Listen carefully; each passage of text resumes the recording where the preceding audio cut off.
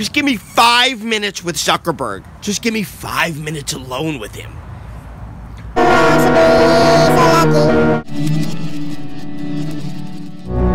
Oh my god, I just had a.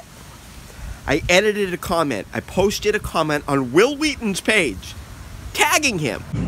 See, at first it said Wil Wheaton got beat. Frank Barish's bedhead is clearly less neat in his latest film from the street. And then I realized it needed an extra word for the flow of the poetry. So I went in and I fixed it.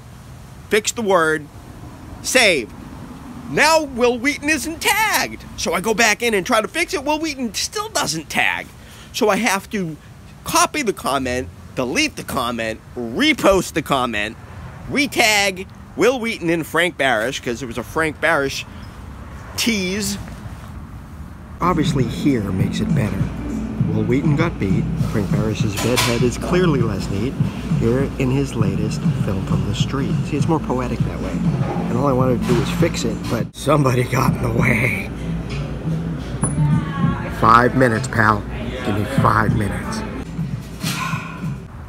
Just give me five minutes with Zuckerberg. Just give me five minutes alone with him.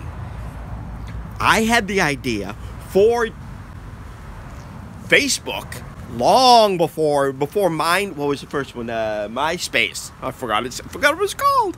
MySpace was it was a pain in the ass because it had an href and you were writing code even if you didn't write code. I just copied the href whenever I wanted to post something. It was stupid.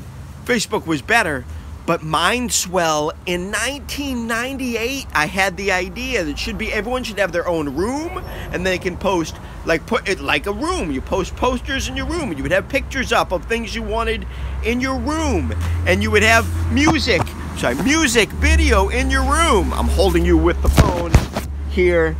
That's not even. I'm just telling you a story about what just happened with that stupid phone and stupid Facebook and my stupid life. And my grandfather hated me because I didn't go into computers. But in 1998, I had the idea of Facebook. Okay, there's a lot of reasons why that racist bastard hated me, but that was one of them. And that's all for today, I guess. I should be so lucky.